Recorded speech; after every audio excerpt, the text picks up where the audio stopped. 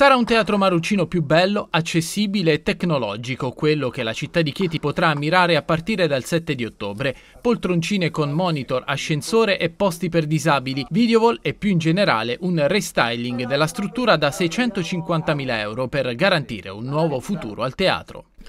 Ma il futuro è sicuramente eh, nel solco di quanto fatto in questi anni, cioè un teatro che non solo conserva il titolo di teatro di tradizione, ma che è il punto di riferimento per la lirica in Abruzzo, ma che ha un grandissimo successo con la prosa, l'abbiamo dimostrato con gli oltre 500 abbonati di questi anni. Si parte dunque con la lirica, nel solco della tradizione. Una ripartenza in presenza con la Traviata di Giuseppe Verdi, l'8 e il 10 di ottobre, con la direzione di Daniel Oren.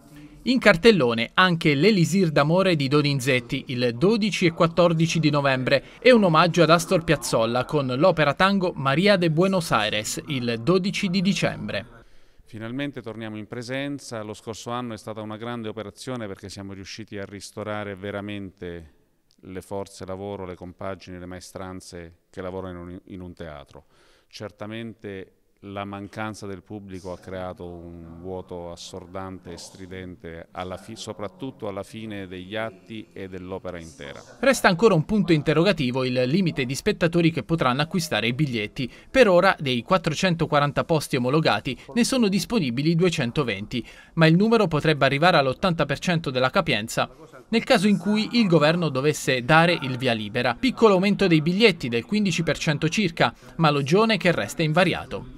Chi è in possesso dei voucher potrà utilizzarli per la nuova stagione fino al 31 di dicembre. Nell'anno in cui pesantemente provati mm, sotto il profilo psicologico oltre che fisico, riapriamo il teatro nuovo alla città, non si poteva in qualche modo stare a guardare il budget più di tanto. Lo dobbiamo guardare, lo devo guardare, non dormo la notte, però eh, penso che sia stata una scelta giusta.